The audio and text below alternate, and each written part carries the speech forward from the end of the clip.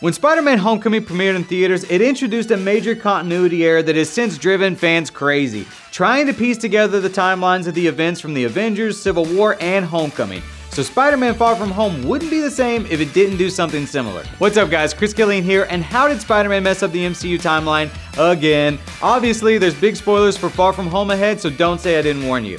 In its attempt to explain the MCU after the events of Avengers Endgame, Spider-Man Far From Home creates yet another continuity problem, although it's not as glaring as the 8 years later time jump from Homecoming. When we first meet Peter Parker in Civil War, he explains that he's 15 years old. We learn that Spider-Man Homecoming takes place nearly a year later, and he has since started his sophomore year in high school.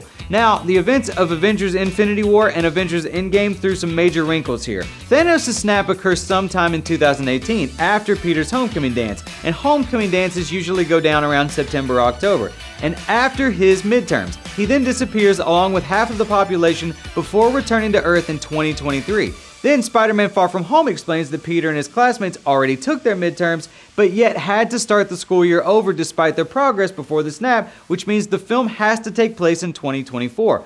All of this is fine until Mysterio attempts to offer Peter Parker a beer, and the young hero turns him down because he's only 16, despite being 15 during the events of Captain America Civil War in 2016. So even after the return from the blip, this is still too short of an amount of time compared to the events depicted on the screen. If you're shaking your head and wondering who cares, you're right, it's just funny that a Spider-Man movie is once again the biggest culprit in making a mistake about the timeline. You care that the MCU timeline is a little wonky? Tell me in the comments or tweet me at Chris Killian, and thanks for watching.